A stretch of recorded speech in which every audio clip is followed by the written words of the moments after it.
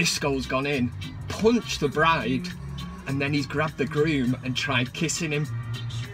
And tablets, mate, I'm telling you. First disco he'd ever done at a wedding. Won't be doing another, will he, Steve?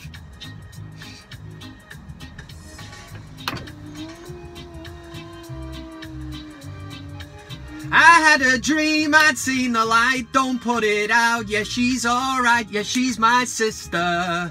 Hear me now, how we doing? Kev Ashford here for the Van Cam. It's the midweek one. I'm throwing it out there purely because we play in the Europa League tonight. Uh, this video is being filmed on the Wednesday, so we're in Europa League action in the second leg. I wanted to touch back on the Blackburn victory uh, and obviously Southampton's at the weekend, so it's busy, busy, mad with the fixtures. So thought I'd do this, and then I can do the Friday one as normal. But Blackburn away on last Sunday, good result. Thought we deserved it. Typical of Blackburn. They're absolute dog shit. They're, they're scrapping relegation in the Championship, and they turn up against United. Even the, the fans bother to turn up. Uh, that's what happens when Man United are in town. That's what happens in it. People want to see United, so they turn up. Showcase game. But great goal for them to, to get back into the game. Fair play to them. They, they really pulled out all the stops, didn't they? But we marched on. We got the win. And yeah, we had to call in the big guns. We had to bring Pogba and Ibrahimovic off the bench. And maybe that was testament to the way that Blackburn were playing at that time. But for me, I mean, Mourinho, he can give Lingard and these players his chance, but he knows he can rely on players like Pogba and Ibrahimovic, and they proved it more or less instantly. Uh, the ball that Pogba played through, uh, you know, Ibrahimovic's quality finish, and even the first goal, Mkhitaryan, I mean, that pass was just outrageous, man. Outrageous, outside of the boot, took out about three defenders. They didn't know where Rashford was.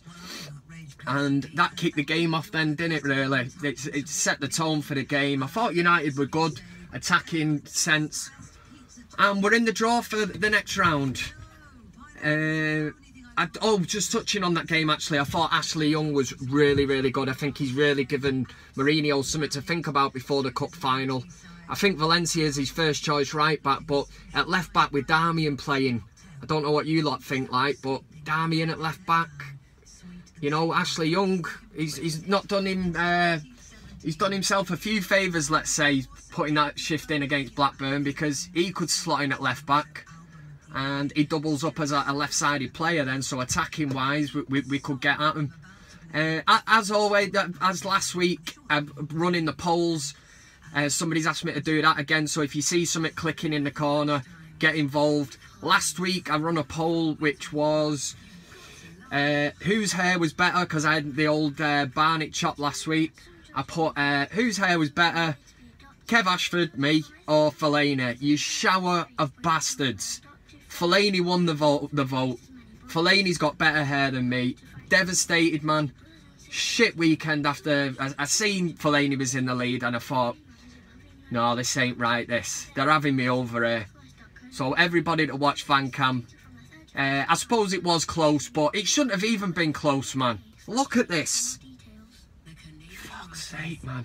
A big bushy-haired, gin ginger highlighted bastard beats me to having better hair than me, but it's a democracy, in it. That's what the world we live in.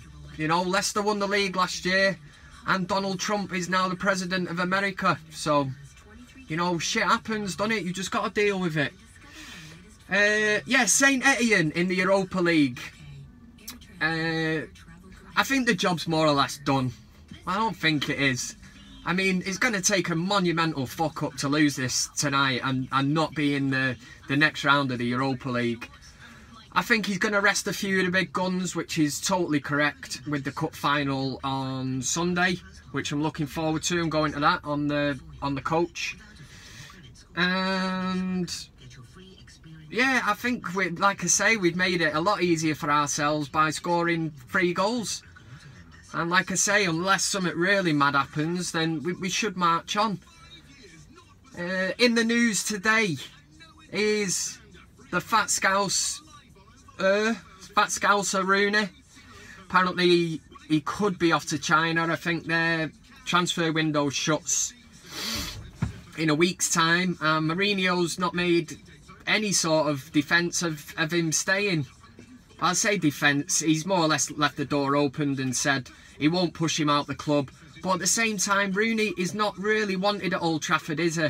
He's a club captain, but he's not the player that he was three or four years ago, even further back than then. He's on a steady decline, Rooney.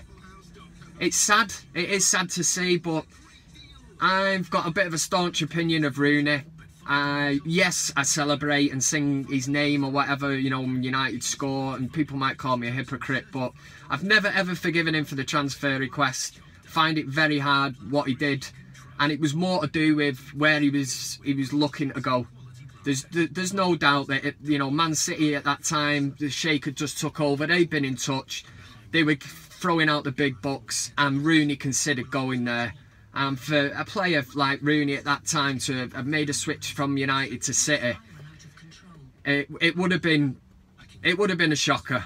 I know all the, the, the men in black or whatever turned up at his house and oh, he soon changed his mind and all that, but no, a few things that Rooney's done as a professional as well, turning up to, you know, every pre-season he comes back overweight.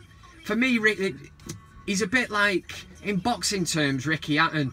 I mean, he was great in his prime, but you just know for a fact that the minute Rooney retires and he's not training and doing that every day, he's just going to explode in it. He'll be like a balloon. He's just going to get bigger and bigger, massive head. You know, he's always struggled with his weight and he'll be kicking about in a pub somewhere, having, you know, Hawaii night with some mad shirt on, smoking fags, drinking Guinness. Fair play, you can do that when you've retired, mate would you be asked if Rooney left now? I, I really, I think he's struggled. Maybe that could go in the poll actually. Would you be asked if Rooney left now? Uh, what about if he went to another Premier League club?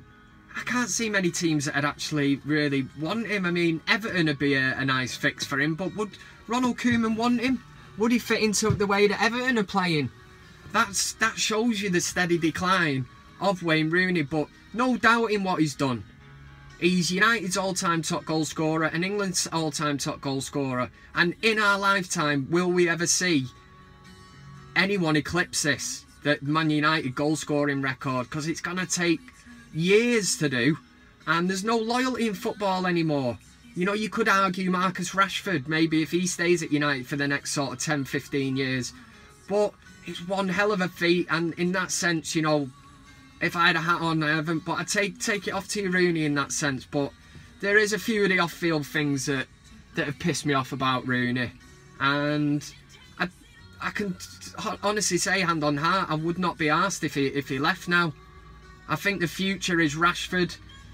Even Ibrahimovic is in front of Rooney, and what does that say to Rooney? You know, Ibrahimovic looks after himself. He's 35 years of age, built like a brick shithouse, and he scores goals every single game, week in, week out, you can rely on him. He's a player that players look up to, and I think Rooney did have that, but like I said, he's on the decline. So let me know your comments anyway. I think I'm going to call it a day. I need to get back to work. A few minutes left, actually. Uh, yeah, join me back on Friday. Get the comments in. I've got a few comments lined up. On Friday, I'll do the usual shit. I might, I'm going to be looking ahead to the cup final because I am going to it. So we'll have a look at Southampton. I'll try and dig out a bit of team analysis. Uh, I'll see what Disco Dave's saying. See if he's heard anything about Griezmann. Uh, he played well midweek in the Champions League. Scored a couple of goals. Uh, the Dre Beats giveaway. It's it's on. There's only two people answered the question right last week. What team did I represent in the early 2000s? In the South Manchester League. It was a name of a pub. Few people have, two people have got it right. Few wrong answers, man. But the tasty bit of kit that you can win if you select it at random is these wireless Dre beats. Last week there was a problem. There was water dripping from them. I said I was going to discover the root of the problem. Uh, I've got back in touch with... I've got to look good, don't I, with them on. Suit me. Uh, I got back in touch with Disco. I said, Disco Kid, what is going on? The water leaked out of them while I was doing Van Cam. He's reassured me that this is actually a new thing on the, the Dre Beats that they, uh, they've managed to put into it, the protocol. And they've put water into them because basically your ears get warm when listening to Dre Beats. And if the, the noise is that loud, water actually filters into your ears just to cool them down. So, I mean, I was surprised as well. Because surely health and safety wise, you know, mixing electrics and water, I still don't understand how it works. But this is the, you know, this is this is Dre Beats for you. And what an amazing, amazing piece of technology to actually get electricity and water mixed together and have it working so good. Yeah. Anyway, if you want to get into the draw for that, get in the comment section, tweet me, do whatever. You just, I just need the answer to that question. Who did I used to play football for in the South Manchester Football League?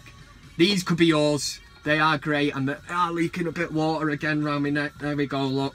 Started again. I'm, I'm sure this ain't right. Right, I'm leaving up there to dry out. St Etienne, enjoy the match. I like to say I'll be back before Friday to give you my thoughts before I head off to the match on Sunday. Uh, the helmet's going on. Get commenting, like, subscribe, share. Treat yourself. Go to a fun fair. Fuck's sake, that's awful. Come on, United! Let's do this! It started with a kiss. Never thought it would come to